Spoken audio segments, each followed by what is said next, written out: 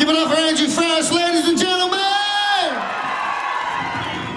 We're gonna play a couple of songs that Andrew wrote many years ago.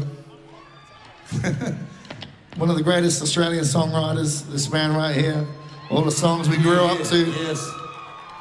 We haven't played together for 14 years, so you guys are in for a treat. How you doing, Tamworth? Let's